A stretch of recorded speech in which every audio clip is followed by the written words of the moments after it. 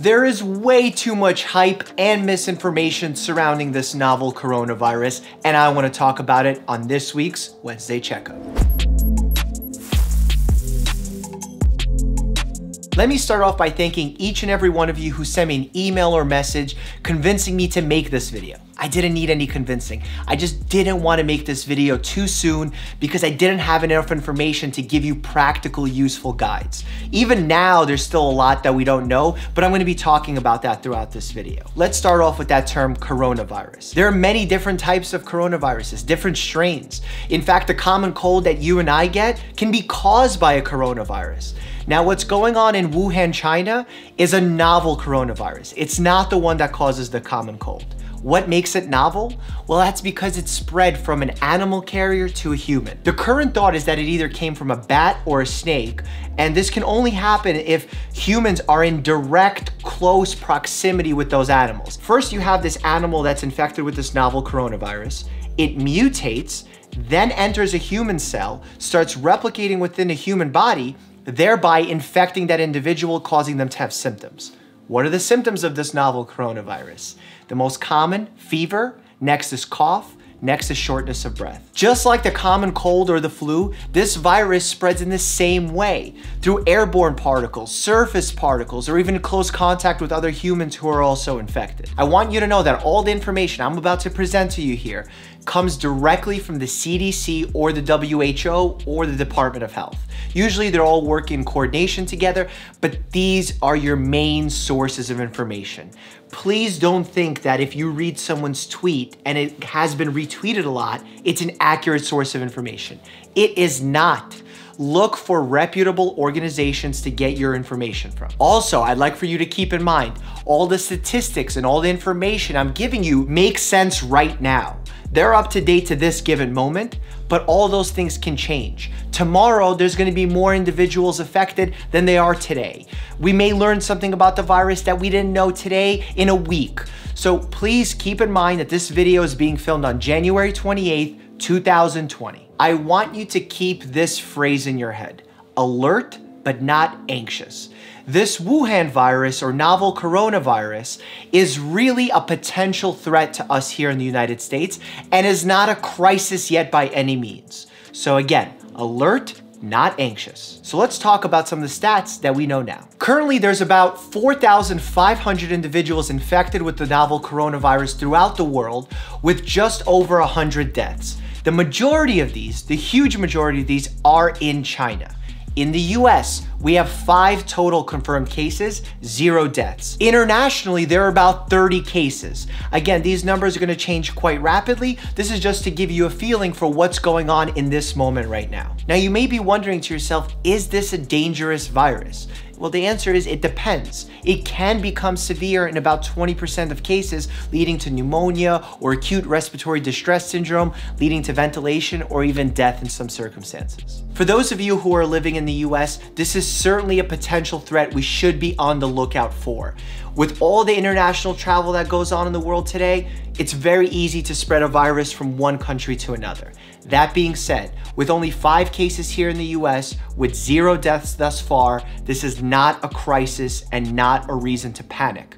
There's been many headlines in media that are trying to scare you into panicking because it urges you to click. And when you click, they earn money. Do not fall for this. Look for reputable sources like CDC or WHO. I'm gonna keep stating that over and over again. There's still a lot of information we don't know about this novel coronavirus. How long it takes to spread, what is the true incubation period? Meaning that you have the virus, but you don't show any symptoms yet. Right now, we're thinking it's a week to two weeks, but we're still figuring that out. And then finally, can you spread the virus during that asymptomatic period, which would be really dangerous because you could have individuals who are not sick actually transmitting the virus across the world. In fact, when we had a similar outbreak like this in the early 2000s with SARS, the reason we were able to contain it was that we were screening people to see who had a fever, who was sick with this virus, and we were able to contain and isolate those individuals. But if this virus can be transmitted even when we're healthy, or at least seemingly healthy, that could be quite dangerous. We don't know the answer to that question yet. When it comes to treatment for the coronavirus, I'm sad to say there is no treatment. That doesn't mean we can't do anything. We can still give supportive care.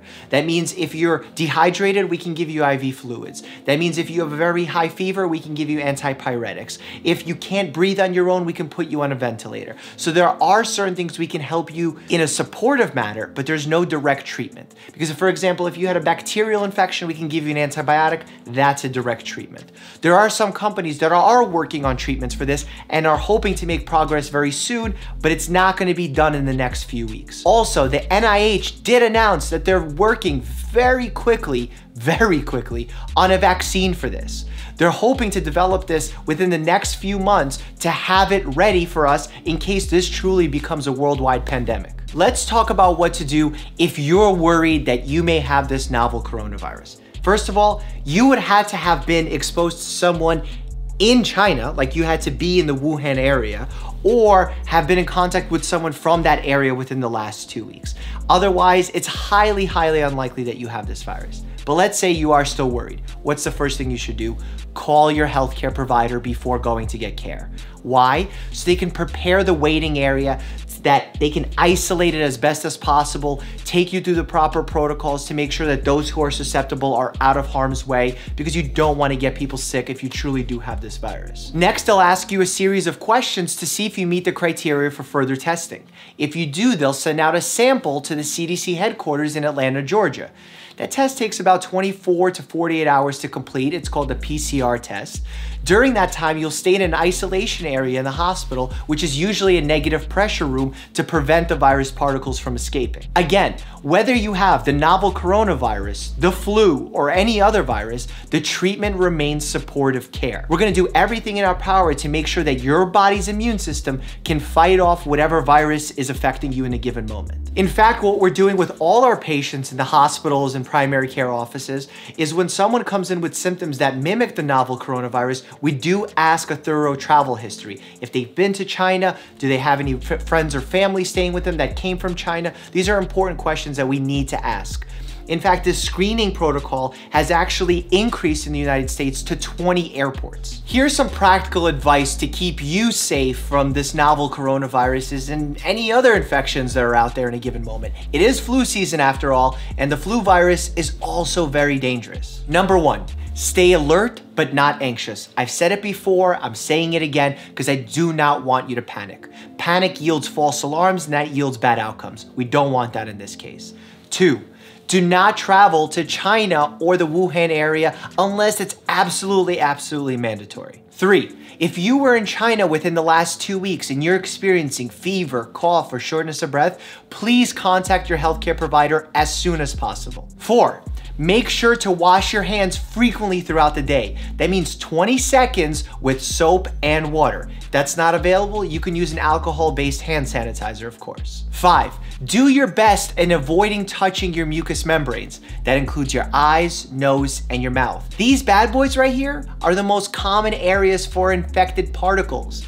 And then when you put them on your mucous membranes, that's how they get in your body. Six, if you're gonna cough or sneeze, do it into a tissue and then throw that tissue out. Seven, clean high traffic areas. If you're gonna be using a public workspace, wipe it down first. It's a simple rule of thumb that I like to recommend to all of my patients. Eight, do your best to avoid contact with those who are sick. If you see someone coughing or sneezing, do your best to keep at least six feet in between you.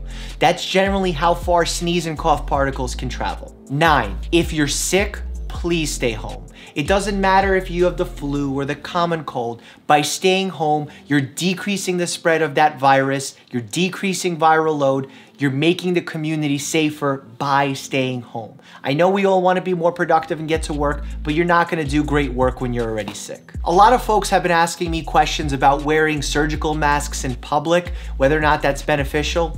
There can be some benefit there, but there could also be some harm because when you're taking the mask off, if you get some of the germs on your hands, then you shake hands with somebody, now you're spreading that virus further. So there's kind of pros and cons in both directions. The CDC is not making this general recommendation that everyone in a public place should wear this mask, and I think we should stick to that advice. If we don't need to wear them, don't. Because the masks that we wear in the, in the healthcare environment are N95 masks. These are fit tested masks. They have a very specific method of working and the regular surgical masks that you see people using, the disposable ones, those don't offer a huge amount of protection. Just remember, because this is a developing situation, details are gonna change. That's why I'm gonna link really good quality sources from the CDC and the NIH down below. Click on those for further reading. If you have any questions or comments, leave them down below. I'm gonna do my best to stay as active as possible in the comment section, answering your questions in case the situation changes or develops further. Here's a good playlist if you'd like to learn more about some really cool medical cases. And as always, you're gonna stay happy and healthy when you click on one of these.